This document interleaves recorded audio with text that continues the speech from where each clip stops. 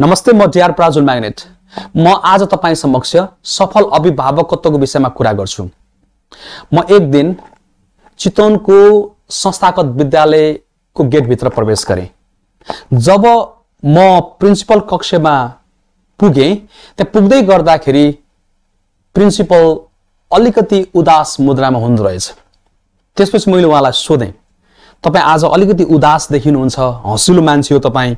तर आज किन उदास हुनुहुन्छ भनेर भन्दै गर्दा उहाँले सम्पूर्ण घटनाहरूको विस्तार गर्नुभयो र भन्नुभयो आजभन्दा करिब तिन दिन अगाडि एउटा कक्षा एकमा पढ्ने विद्यार्थीले अपशब्द बोलेछ सर क्लासमा। मिसले मलाई भन्नुभयो भनिसकेपछि मैले त्यो विद्यार्थीलाई अफिसमा ल्याएँ। अफिसमा ल्याइसकेपछि मैले उसलाई गाली गरेँ उसलाई नसियत दिएँ अथवा पनिसमेन्ट गरेँ। त्यो कुरा अभिभावकले थाहा पाउनु भएछ अभिभावकले थाहा पाइसकेपछि उहाँ तपाईँ आउनुभन्दा पन्ध्र मिनट अगाडि आउनु भएको थियो सर। पन्ध्र मिनट अगाडि आउनु भएको थियो। करिब करिब पाँच सात मिनट बस्नुभयो। र पाँच सात मिनट बस्दाखेरि उहाँले जुन अपशब्द प्रयोग गरेर मैले बच्चालाई गाली गरेको थिएँ नसियत दिएको थिएँ त्यही अपशब्द बोलेर जानुभयो सर। वास्तवमा यो प्रसङ्गले के भन्छ भने अभिभावक कस्तो हुनुहुन्छ?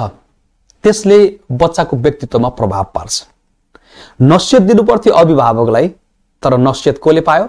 बच्चाले पायो। म तपाईँलाई भन्न चाहन्छु हाम्रा बच्चाहरूले हाम्रा व्यवहारबाट धेरै कुरा सिक्छन्।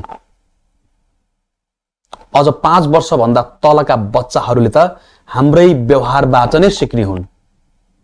तसर्थ यदि हाम्रा बच्चाहरूमा हामीले अपेक्षा गरेको भन्दा अलि फरक खालको व्यवहार देख्नुभयो भने देखियो भने त्यो बेलामा त्यो व्यवहारको परिवर्तनका लागि सबैभन्दा पहिला के गर्नुपर्छ भन्दाखेरि आफ्नो व्यवहारलाई चिन्तन गर्नुपर्छ।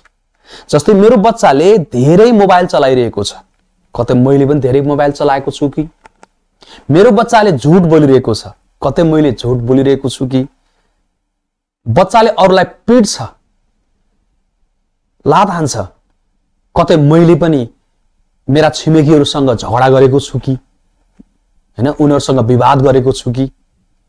मेरो बच्चाले मुखमुखै लगाउँछ। कतै मैले मेरा श्रीमानसँग अथवा श्रीमतीसँग अथवा सासु ससुरासँग बुवा आमासँग अथवा छिमेकीसँग मैले पनि मुख लगाएको छु कि? हो। बच्चाको व्यवहार परिवर्तन गर्ने धेरै उपायहरू छन्। ती उपायहरूका बारेमा हामीले चर्चा परिचर्चा गर्दै गरौँला। तर पहिलो उपाय भनेको self reflection of your behaviour तपाईँको आफ्नो व्यवहारको चिन्तन गर्ने हो। यस्तो गर्न सकियो भने र हामीले आफ्नो व्यवहार सुधार्न सकियो भने मात्र हाम्रा बच्चाको व्यवहार सुध्रिन्छ। म तपाईँलाई भन्न चाहन्छु यो संसारमा रहेका कुनै पनि व्यक्तिले कुनै पनि व्यक्तिलाई सुधार्न सक्दैन। मैले मेरा बच्चालाई सुधार्न खोजिरहेको छु मैले मेरी श्रीमतीलाई सुधार्न खोजिरहेको छु मैले मेरो समाजका सम्पूर्ण सदस्यहरूलाई सुधार्न खोजिरहेको छु।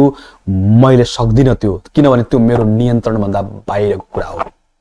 भगवत गीतामा भनिएको छ तिमीसँग दुईवटा कुराहरू हुन्छन्। एउटा कुरा तिम्रो नियन्त्रणमा हुन्छ अर्को कुरा तिम्रो नियन्त्रणमा हुँदैन। तिम्रो ध्यान भनेको तिम्रो नियन्त्रणभन्दा बाहिरको कुरामा होइन। तिम्रो नियन्त्रण भित्रको कुरामा हुनुपर्छ।